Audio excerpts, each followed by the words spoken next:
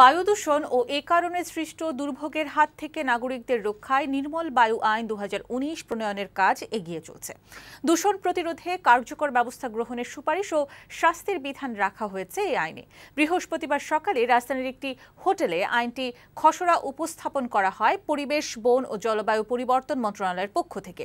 এই সময় দ্রুত আইনটি প্রণয়ন ও নগর পরিকল্পনায় বাড়তি মনোযোগের তাগিদ দিয়েছেন আলোচকরা। আরও বিস্তারিত জানাচ্ছেন লাবণী গুহ।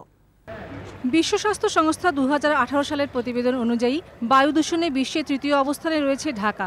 ফলে শ্বাসকষ্ট ও ক্যান্সার সহ নানান রোগে আক্রান্ত হচ্ছেন নগরবাসী।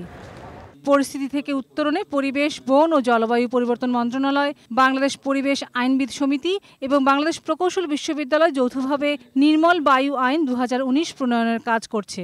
বৃহস্পতিবার সকালে রাজধানীর একটি হোটেলে আইনটির খসড়া উপস্থাপন করা হয়।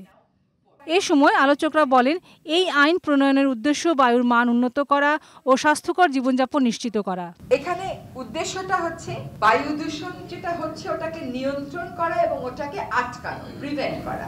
বক্তারা বলেন এই আইন বায়ু দূষণ রোধে কার্যকর ভূমিকা রাখবে। সেই সাথে কীভাবে পরিবেশ বান্ধব কলকারখানা তৈরি করা যায় সেই পরিকল্পনাও থাকবে। বায়ু ও পানি দূষণ প্রতিরোধ বিশেষ করে ঢাকা ও অন্যান্য বড় নগরে বায়ুর মান উন্নয়ন এবং বিশুদ্ধ বায়ু আইন প্রণয়ন করা সরকারের অন্যতম নির্বাচনী প্রতিশ্রুতি। উন্মুক্ত এই আলোচনায় বক্তারা নগর পরিকল্পনার কথা বলেন। এছাড়া আগামী অক্টোবরের আগেই যেন আইনটি পাশ হয় সে বিষয়েও মনোযোগী হওয়ার পরামর্শ দেন। লাবণী গুহ বৈশাখী সংবাদ ঢাকা।